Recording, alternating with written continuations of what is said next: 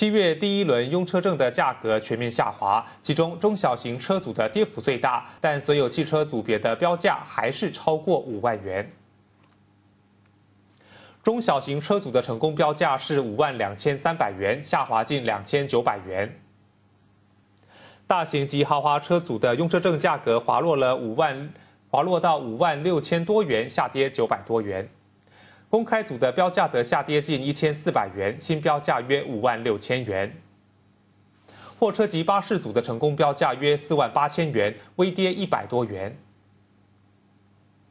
摩托车组的价格下滑了近三百元，成交价六千零一十二元。